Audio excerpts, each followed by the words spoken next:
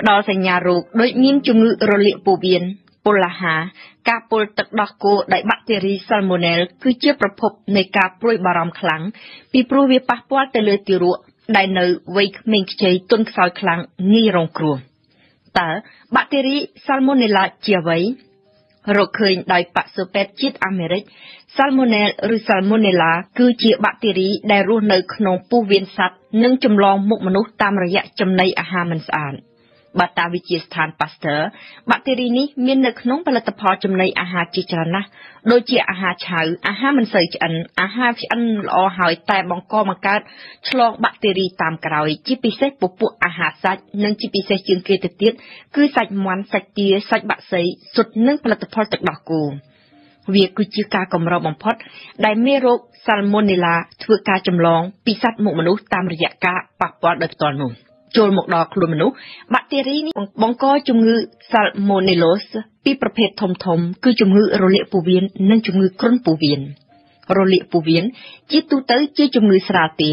ក៏ប៉ុន្តែវាអាចបង្ករោគធ្ងន់ធ្ងរចំពោះមនុស្សទន់ខ្សោយដូចយ៉ាងទារកកុមារនិងមនុស្សចាស់ជរាព្រមទាំងអ្នកដែលមានប្រព័ន្ធការពារខ្លួនខ្សោយនិងឆាប់ស្ដែងឲ្យដឹងជារោគសញ្ញាខ្លាំងណាស់ នៅពេលដែលបាក់តេរី Salmonella ចម្លងចូលទៅដល់ក្នុងខ្លួនមនុស្សហើយវាសំងំតែប្រមាណ12ទៅ32ម៉ោងតែប៉ុណ្ណោះនឹងចាប់ផ្ដើមធ្វើសកម្មភាពភ្លាមតើគេអាចសម្គាល់ជំងឺរលាកពោះវៀននេះបានយ៉ាងដូចម្តេចសូមអញ្ជើញស្ដាប់ប្រសាសន៍របស់លោកវិជ្ជបណ្ឌិតឡាគឹមសុង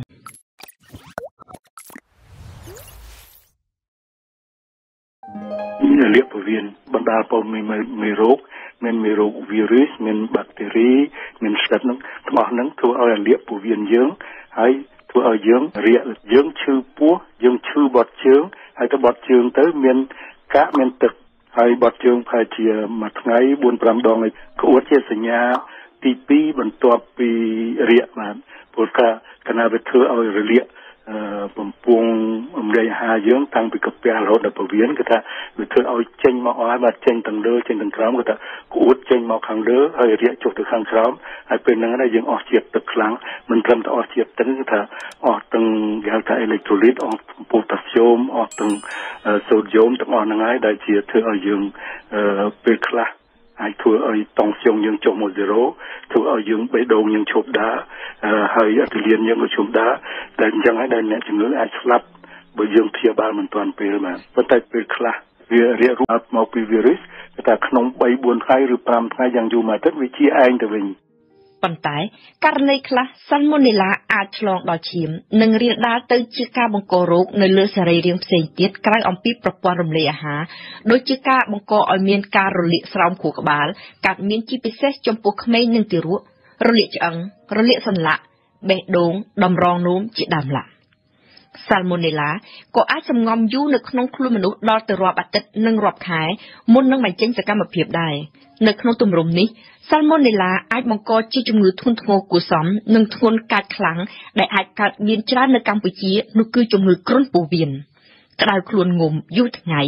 ឡើងដល់30 40អង្សាឈឺក្បាលឈឺពោះលែងចង់ទទួលទានអាហារទល់ឬក៏រាក បើមេរោគមិនកាចជំងឺគ្រុនពោះវៀននឹងត្រូវជាធូរស្បើយទៅវិញបន្តិចម្ដងបន្តិចម្ដងនិងជាដាច់បានបន្ទាប់ពីសម្រាប់ព្យាបាលជំងឺអស់រយៈពេលច្រើនសប្តាហ៍តែបើជាសំណាងអាក្រក់ Salmonella អាចបង្កផលវិបាកទៅលើសរីរាង្គផ្សេងផ្សេងដូចជាតម្រងនោមនិងផង់ប្រមាត់ជាដើមឡាបើគ្មានការព្យាបាលឬក៏ព្យាបាលមិនត្រឹមត្រូវទេនោះនោះអ្នកជំងឺនឹងអាចលាប់ហើយ10%អាចបាត់បង់ជីវិត សូមស្ដាប់ប្រសាសន៍លោកវិជ្ជបណ្ឌិតបិទចន្ទរាពន្យល់អំពីជំងឺគ្រុនពោះវៀន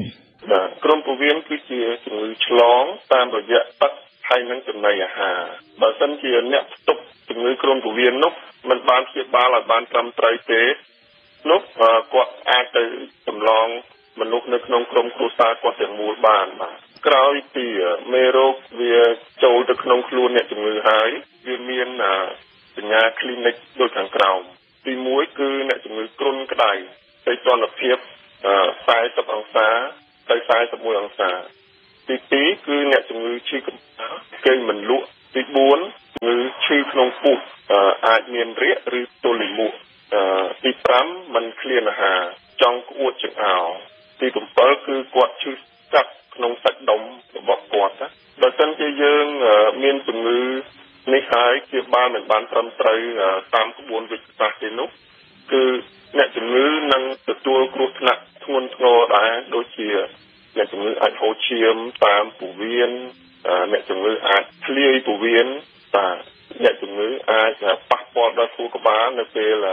មេរោគវាឡើងទៅដល់ខួរក្បាលបាទក្រោយពីពិនិត្យដឹងថាអ្នកជំងឺផ្ទុកមេរោគនឹងហើយគឺទៀមទាចំណីអាហារទុនទុន ឲ្យញ៉ាំឲ្យបានច្រើនដងតែញ៉ាំម្ដងម្ដងចំនួនតិចដើម្បីកុំឲ្យប្រដាប់រំលាយអាហារយើងនឹងប្រឹងធ្វើការខ្លាំងពេកដើម្បីឲ្យសរីរាង្គដែលមានរលាកនោះគឺมันទៅប្រឹងធ្វើការបាទវិធីការដ៏ត្រឹមត្រូវគឺអនុវត្តប្រការ3គឺ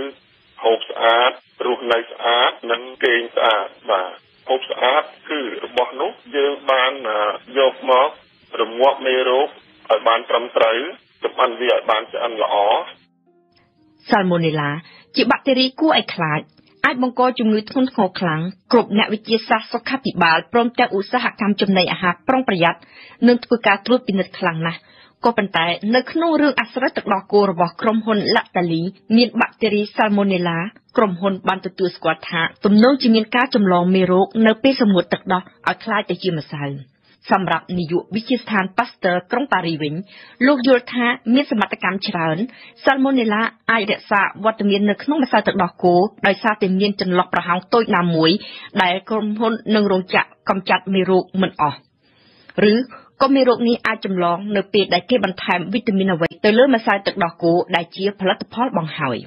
បើដូច្នេះមែនតើមានមធ្យោបាយអ្វីការពារដែរឬទេ Salmonella គឺជាបាក់តេរីដែលធន់ខ្លាំងទៅនឹងសីតុណ្ហភាពសូម្បីតែត្រជាក់